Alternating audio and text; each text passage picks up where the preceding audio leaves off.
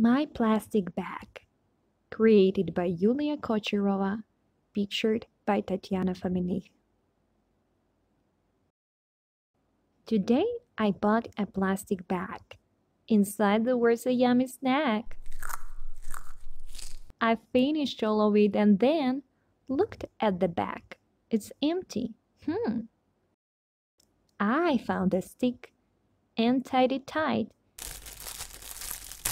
Now, baggy bag, it's time to fly. We ran together, up, high, high. It seemed that we could really fly.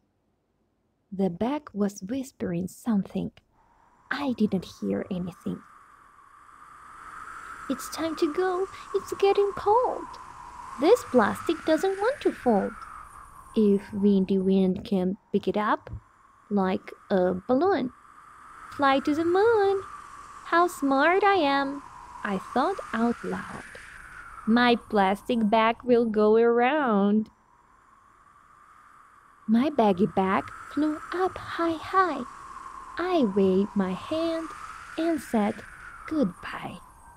The bag was whirling up and down and disappeared in the town.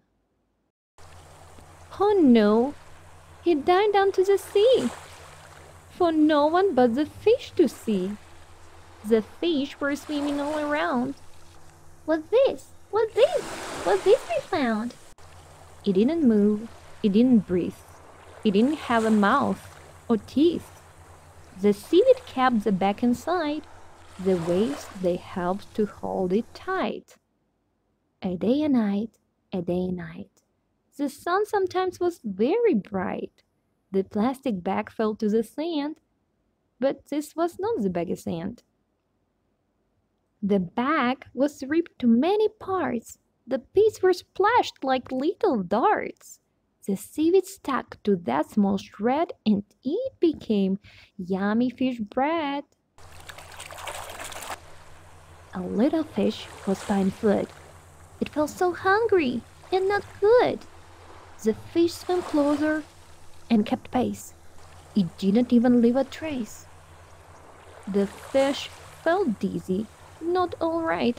Then suddenly it saw a sight, a little worm that looked so yummy. But the fish's tummy felt so funny. Need to eat more? Snap the prey fast! It seems that Snap was the fish's last. The little swimmer has been hooked. Soon in the evening will be cooked. First to the boat, next to the car.